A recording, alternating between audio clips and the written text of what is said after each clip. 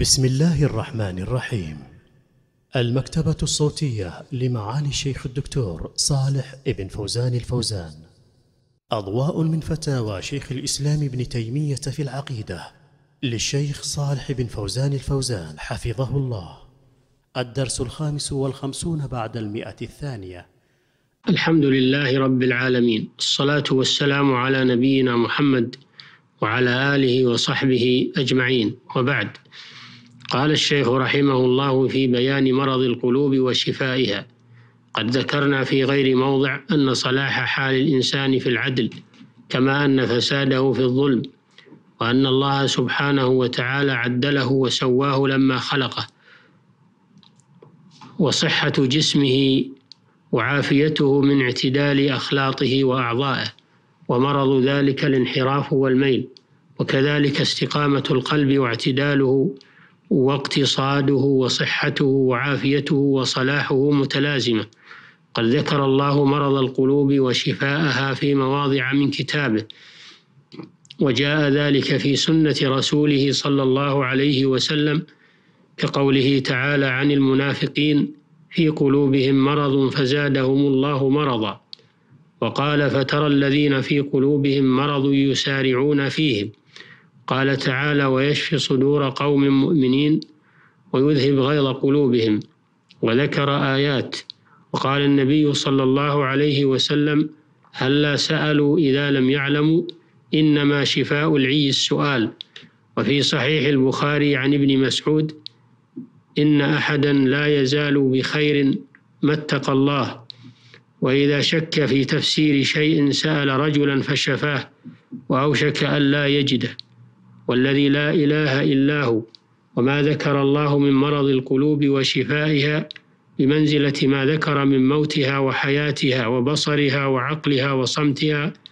وبكمها وعماها لكن المقصود معرفة مرض القلب فنقول المرض نوعان فساد الحس وفساد الحركة الطبيعية وما يتصل بها من الإرادية كل منهما يحصل بفقده وكل منهما يحصل بفقده ألم وعذاب فكما أنه مع صحة الحس والحركة الإرادية والطبيعية تحصل اللذة والنعمة فكذلك يحصل بفسادها الألم والعذاب.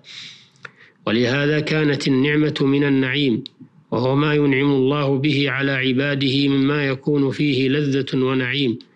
قد قال تعالى ثم, لتسأل ثم لتسألن يومئذ عن النعيم أي عن شكره فسبب اللذة إحساس الملائم وسبب الألم إحساس المنافي. ليس اللذة والألم نفس الإحساس والإدراك إنما هو نتيجته وثمرته ومقصوده وغايته. فالمرض فيه ألم لا بد منه وإن كان قد يسكن أحيانا لمعارض الراجح فالمقتضي له قائم يهيج بأدنى سبب. فلا بد فالمقتضي له قائم يهيج بأدنى سبب فلا بد في المرض من وجود سبب الألم وإنما يزول الألم بوجود المعارض الراجح ولذة القلب وألمه أشد من لذة الجسم وألمه أعني ألمه ولذته النفسانيتان وإن كان قد يحصل فيه من الألم من جنس ما يحصل في سائر البدن من مرض الجسم فذلك شيء آخر. ولذلك صار مرض القلب وشفاؤه أعظم من مرض الجسم وشفائه فتارة يكون من جملة الشبهات. كما قال تعالى فيطمع الذي في قلبه مرض في قلوب المنافقين المرض من هذا الوجه ومن هذا الوجه من جهة فساد الاعتقادات وفساد الإرادات. والمظلوم في قلبه مرض وهو الألم الحاصل من ظلم الغير له.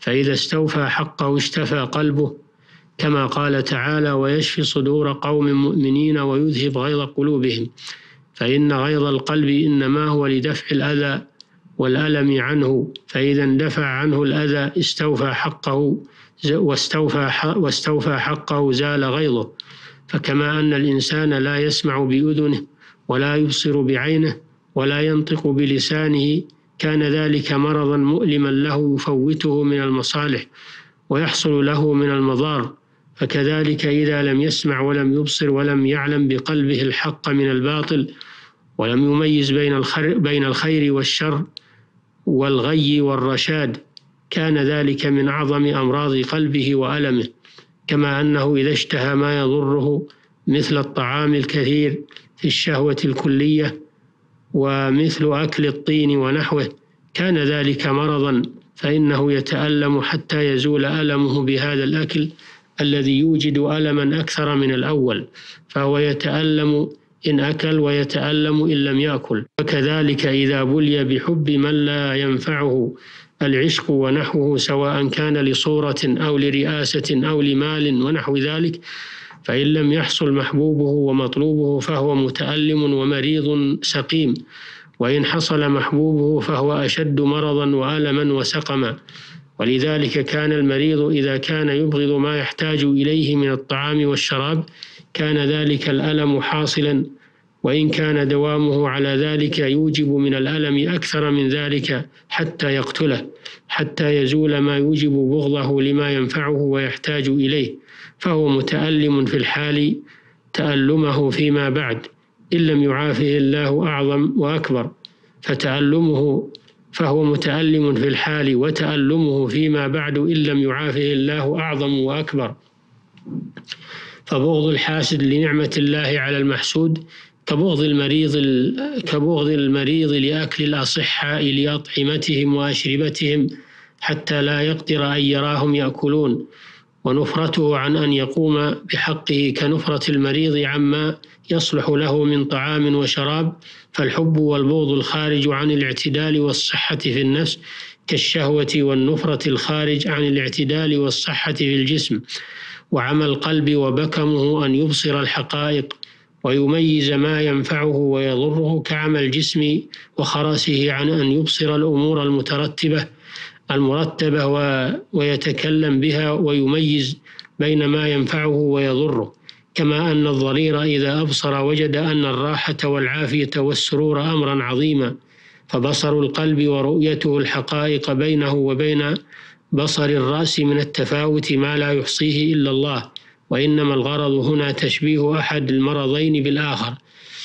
فطب الأديان يحتذي حذو فطب الأديان يحتذي حذو طب الأبدان. إلى أن قال الشيخ رحمه الله فمرض الجسم يكون بخروج الشهوة والنفرة الطبيعية عن الاعتدال إما شهوة ما لا يحصل أو يفقد الشهوة أو يفقد الشهوة النافعة وينفر عما يصلح ويفقد النفرة النفرة عما يضر. كذلك مرض القلب يكون بالحب والبغض الخارجين عن الاعتدال وهي الأهواء التي قال الله فيها ومن أضل ممن اتبع هواه بغير هدى من الله وقال بل اتبع الذين ظلموا أهواءهم كما يكون الجسد خارجا عن الاعتدال إذا فعل ما يشتهيه الجسم بلا قول طبيب ويكون الضعف ويكون لضعف إدراك القلب وقوته حتى لا يستطيع أن يعلم ويريد ما ينفعه ويصلح له. وكما أن المرض وكما أن المرضى الجهال قد يتناولون ما يشتهون فلا يحتمون ولا يصبرون على الأدوية الكريهة لما في ذلك من تعجيل نوع من الراحة واللذة. ولكن ذلك يعقبهم من الآلام ما يعظم قدره أو يعجل الهلاك فكذلك بنو آدم هم جهال ظلموا أنفسهم استعجل أحدهم ما ترغبه لذته ويترك ما تكرهه نفسه مما هو لا يصلح له فيعقبهم ذلك من الألم والعقوبات إما في الدنيا وإما في الآخرة ما فيه عظم العذاب والهلاك والهلاك الأعظم. والتقوى هي الاحتماء عما يضر بفعل ما ينفعه. فإن الاحتماء الضار يستلزم استعمال النافع وأما استعمال النافع فقد يكون معه استعمال الضار فلا يكون صاحبه من المتقين. وأما ترك استعمال الضار والنافع فهذا لا يكون. فإن العبد إذا عجز عن تناول الغذاء كان مغتذيا بما معه من المواد التي تضره حتى يهلك. ولهذا كانت العاقبة للتقوى وللمتقين لأنهم المحتمون عما يضرهم فعاقبتهم السلامة والكرامة وإن وجدوا ألما في الابتداء لتناول الدواء والاحتماء كفعل الأعمال الصالحة المكروهة. كما قال تعالى كتب عليكم القتال وهو كره لكم وعسى أن تكرهوا شيئا وهو خير لكم وعسى أن تحبوا شيئا وهو شر, وهو شر لكم. ولكثرة الأعمال الباطلة المشتهاة كما قال تعالى وأما من خاف مقام ربه ونهى النفس عن الهوى فإن الجنة هي المأوى وكما قال وتودون أن غير ذات الشوكة تكون لكم. وأما من لم يحتم فإن ذلك سبب لضرره في العاقبة. وبهذا تنتهي هذه الحلقة فإلى الحلقة القادمة بإذن الله. السلام عليكم ورحمة الله وبركاته.